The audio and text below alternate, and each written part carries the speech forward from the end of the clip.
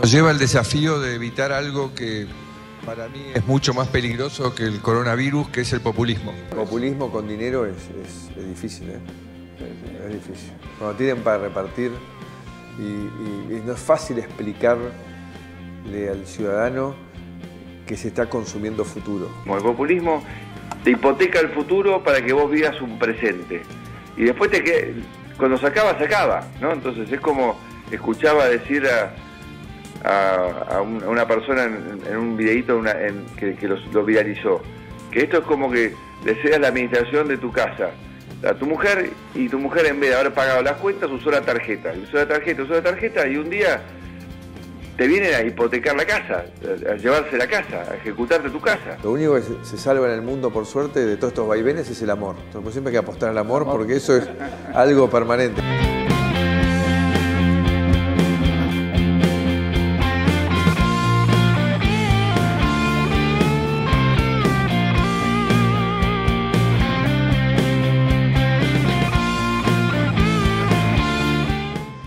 Porque yo siento que después de que este virus haya pasado por Argentina, todos tenemos que darnos cuenta de la importancia del Estado.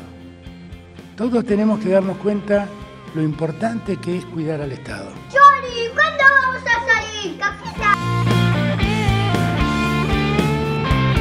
Buenas tardes a todas y a todos, bienvenidos a una nueva edición de Altadata, el lugar donde te enterás todo lo que pasa en un toque. Nos preguntamos durante este mes que pasó en cuarentena, enfrentando la crisis por la pandemia del coronavirus. ¿Qué hubiese pasado si gobernaba Mauricio Macri en este momento? Es la consigna del día para que opines. ¿Qué crees que hubiera pasado? Es una respuesta que no la sabemos porque es algo contrafáctico, pero hoy empieza a responderse con una carta, con un documento que publica un grupo de la derecha iberoamericana españoles y también argentinos, sudamericanos, latinoamericanos. Están, entre otros, Mario Vargallosa, Mauricio Macri, un expresidente uruguayo, muchas personalidades también acá Argentina, Patricia Bullrich, Ariel Perfio, toda la derecha iberoamericana criticando a los gobiernos de Argentina, por ejemplo, Alberto Fernández por las políticas que están llevando a cabo para enfrentar la pandemia. Nos empezamos a responder entonces ¿Qué hubiese hecho Macri? ¿No? Silencian totalmente los crímenes que están generando Donald Trump y Jair Bolsonaro, tanto en Estados Unidos como en Brasil.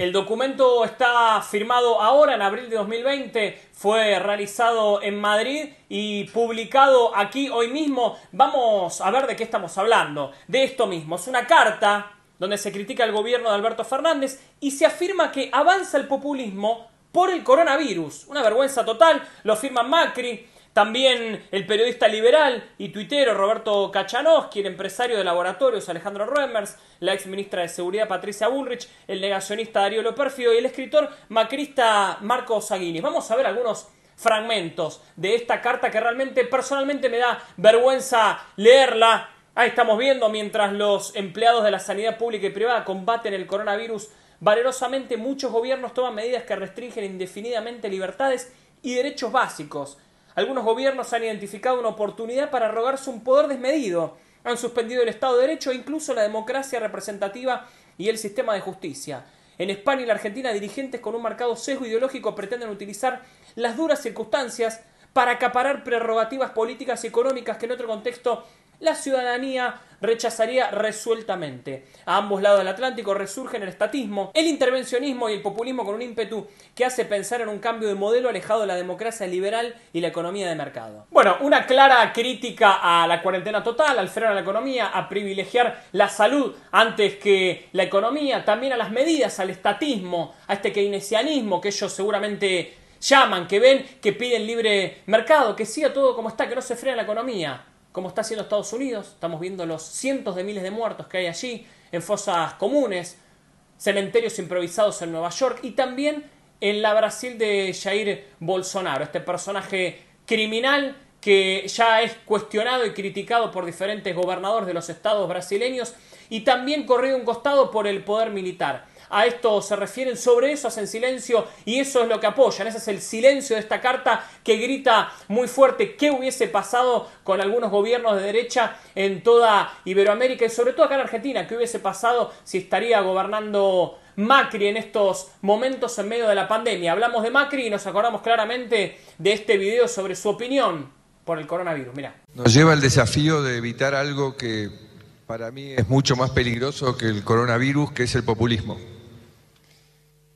Realmente el populismo lleva a hipotecar el futuro, no cree en el equilibrio macroeconómico y realmente compromete no solo el desarrollo, sino el futuro básico de sus comunidades.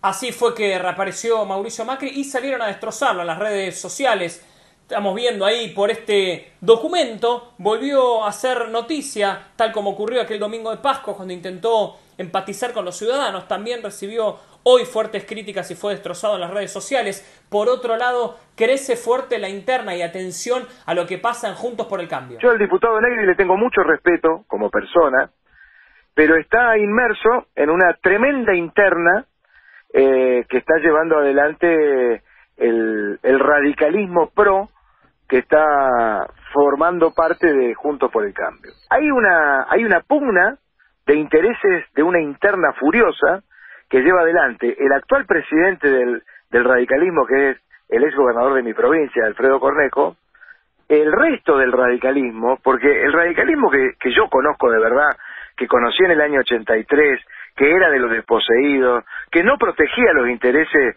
de ese grupo de empresas que se apoderó de la economía de la Argentina. Es decir, eh, ese radicalismo está pugnando ahí en la Cámara. Entonces hay unos que quieren una cosa, el actual presidente del radicalismo quiere ser un socio muy fuerte del PRO, que defiende los intereses que ya sabemos y que en los últimos dos años, y que a mí me tocó ser testigo presencial como miembro de la Cámara, las 36 leyes que se dictaron del gobierno del presidente de Macri, todas favorecieron intereses a contramano del pueblo, sobre todo aquel que representa el radicalismo. Entonces cuando anoche apareció el diputado Negri haciendo una, una arenga de que el, el Congreso tiene que funcionar, me pareció algo de mal gusto.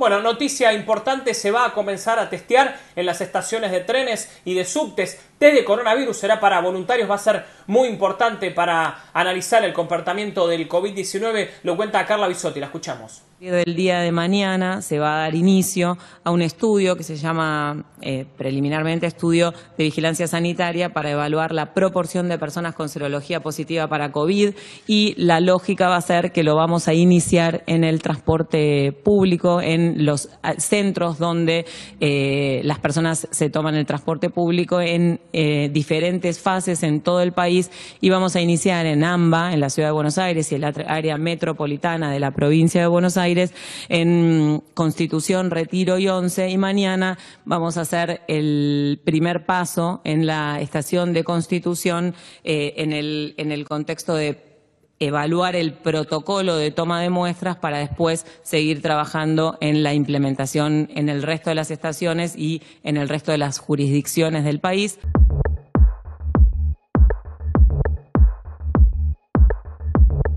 También la ciudad de Buenos Aires se suma a esta iniciativa. Diego Santilli nos cuenta cómo será aplicado acá en la ciudad de Buenos Aires. Los test rápidos los vamos a utilizar para los que los que entren, porque todos los días estamos esperando que entren, hemos adelantado, llegamos el 10 de mayo, estamos esperando que lleguen entre mañana pasado y el domingo.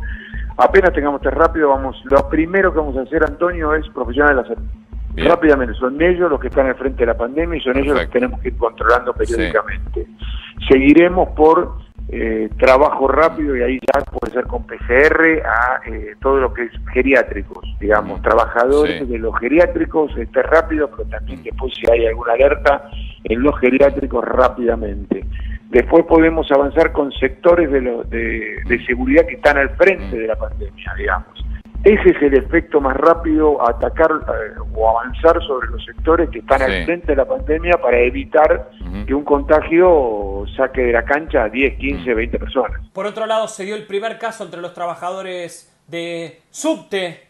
Esto está confirmado, es un trabajador de la línea E que dio positivo por COVID-19. El hombre se desempeñaba en el área de maestranza del turno noche en la estación Independencia de Serramal. Es el segundo hecho confirmado en un empleado del transporte público. Además, el gobierno sale a auxiliar a las obras sociales de los sindicatos. Estamos viendo ahí que el, gobierno confirmó un salvataje a las obras sociales por la pandemia del coronavirus. El secretario general del Sindicato de Obras Sanitarias y miembro del Consejo Directivo de la CGT, José Luis Lincheri, se refirió a la reunión que mantuvo la cúpula de la Central Obrera con la participación del ministro de Salud y aseguró que el gobierno les confirmó que el Estado va a poner la diferencia de lo que no reciben las obras sociales sindicales por la caída en los salarios de cada actividad.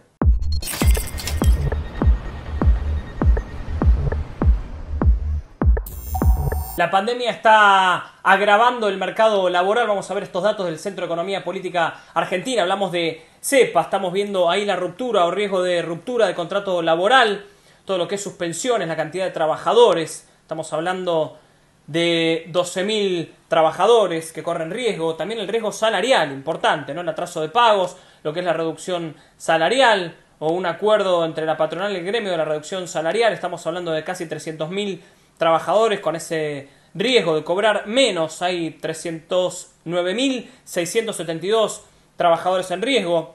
Estamos viendo ahí por sector, ¿eh? lo que es la ruptura, esto es importante, ¿eh? el más perjudicado el de servicios con un 58%, le sigue la construcción con un 19%, la industria con un 14%, importante, ¿eh? eso es lo que es riesgo o ruptura, luego lo que es reducciones salariales, el más perjudicado es la industria con casi un 80%, le sigue el comercio con un 11%.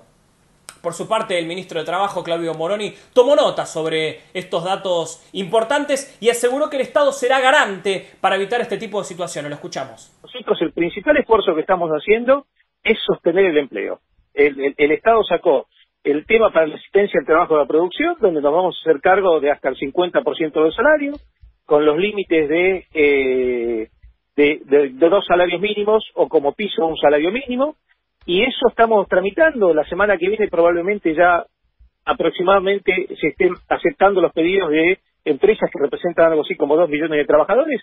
Así que estamos haciendo todo lo que dijimos, estamos haciendo todo lo que sea para proteger el salario de los trabajadores. Ahora, hay actividades en donde a lo mejor el daño es mayor y es probable que estén negociando suspensiones con alguna alguna disminución del salario, de, eh, alguna disminución del salario, pero cubriendo salario de bolsillo. En esta situación de crisis esto es probable, pero esto no se va a poder hacer sin participación de los sindicatos y sin, y sin participación del Estado a través del mecanismo de la homologación. Así que yo les diría a todos los trabajadores que se queden tranquilos. Estamos haciendo todo lo necesario para protegerles, tanto el mantenimiento del contrato como los ingresos. Lo único que estamos viendo es en aquellos casos donde la gente no está trabajando, o sea, en ningún caso se, se van a homologar modificaciones salariales de gente trabajando, ¿eh? o sea, que eso sería el salario. Lo único que estamos haciendo es diciendo, en aquellos casos que la empresa está cerrada, que no está trabajando, y suspende a la gente, en esos casos podemos, podemos autorizar el pago de una compensación no remuneratoria que sea levemente inferior al salario. Pero el, no, no, no, hay, no hay ninguna probabilidad de que homologuemos de disminuciones salariales de gente trabajando. O sea, esto, esto, esto hay que descartarlo. ¿eh? O sea, el salario del que está trabajando está protegido como siempre. Y cuando arranque la actividad va a seguir protegido como estuvo siempre.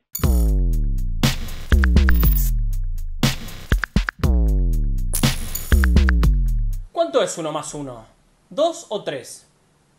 Yo ya no tengo idea. Según Clarín, uno más uno es tres. Mirá, se fue con matemáticas a marzo. Héctor Manieto, papelón de Clarín Total, dice que cae la imagen de Cristina Kirchner en un balotaje de tres. Hasta uno, hasta donde sabe uno, un balotaje es uno contra otro, uno más uno. Macri contra Scioli, Alberto Fernández, Macri puede ser, Macri Cristina. Tres no puede haber nunca. Ellos dicen que en un balotaje hay tres y Cristina queda abajo de Alberto Fernández y Mauricio Macri. Claro, todos salieron a burlarse en redes sociales del diario que se mandó un papelón Total, para ellos un trío son dos, básicamente, vamos por ese lado, ¿no? Bueno, así está Clarín están desesperados, ¿no? La ridícula encuesta sobre Macri y Cristina que hizo explotar las redes es una nota insólita publicada por el diario Clarín, ¿eh? no pasó desapercibida, el matutino publicó una encuesta y asegura que Cristina está en un balotaje de tres y queda debajo de Alberto Fernández y Mauricio Macri. Además, uno de sus editorialistas, estrella, pifió feo al intentar pegarle a Alberto Fernández, mirá, sin circo, Merkel cerca al virus. La corona como líder contra el coronavirus por ahora se la lleva la jefa del gobierno alemán, dice. Pero los números marcan otra cosa, mirá.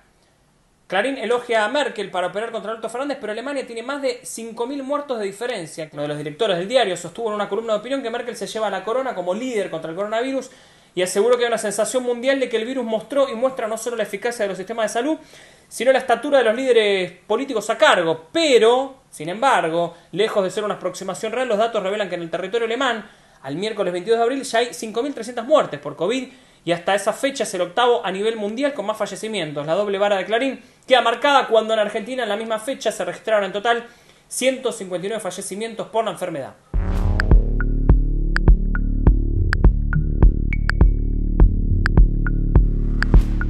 Las cifras del día, 2.691.994 contagios hay en todo el mundo. Los muertos son 187.679. Por el lado de los Estados Unidos, presidida por Donald Trump, 861.220 contagios, son 48.274 las muertes.